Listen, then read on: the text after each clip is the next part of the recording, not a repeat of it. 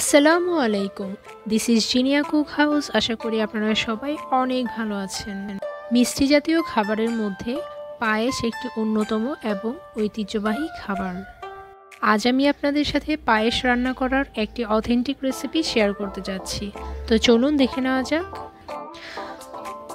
আমি প্রথমে দুই কাপের মতো পোলাও চাল নিয়েছি।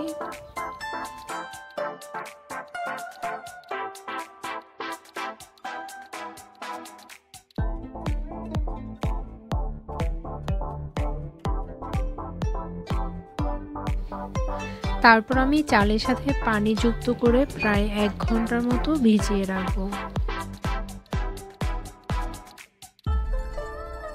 এক ঘণ্টা পর চালগুলো ভালো করে ধুয়ে নিব এবং পানি সহ ব্লেন্ড করব।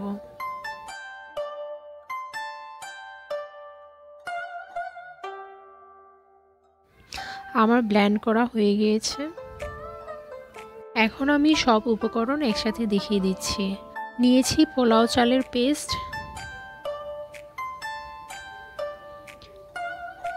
সাথে নিয়েছি নারিকেল। নারিকেলের পরিমাণটা একটু বেশি রাখবেন। তার সাথে নিয়েছি কিশমিশ সাথে নিয়েছি সাগুদানা। নিয়েছি তেজপাতা পরিমাণ মতো। নিয়েছি দারুচিনি। দারুচিনি পরিমাণটা কম দিবেন আর নিয়েছি এলাচি। এলাচির পরিমাণটাও খুবই কম। নিয়েছি চিনি। আমার এখানে হাফ কেজি চিনি লাগবে। আপনি আপনার পরিমাণ মতো দিয়ে নেবেন। তারপর একটি পাতিলে আমি দুই লিটারের মতো দুধ নিয়েছি এবং এটি ভালো করে বয়েল করে নিব।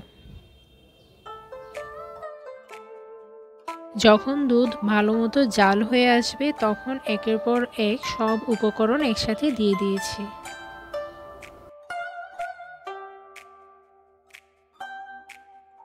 আমি এখানে চিনি পরিমাণ মতো নিয়েছি।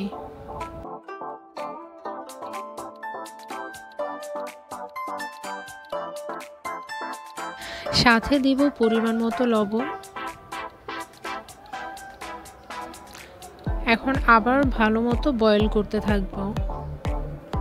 কিছু সময় জাল হয়ে আসলে আমি চালের মিশ্রণটি দিয়ে দিব। এবং চালের মিশ্রণটি দেওয়ার পর দুধটুকু অনেক বেশি গাঢ় হয়ে আসবে। সাথে নারিকেল ছিটিয়ে দিয়ে দিব।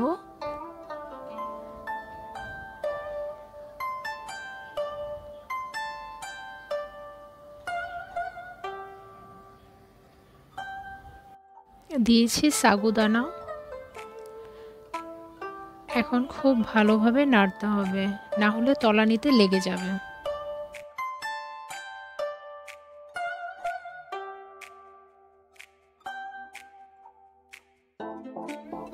একটা কথা মাথায় রাখতে হবে যে পায়েস রান্না করার সময় আপনাকে অবশ্যই কন্টিনিউয়াসলি নাড়তে হবে। যখন এরকম ঘন হয়ে আসবে, আমি চুলো থেকে নামিয়ে নিব।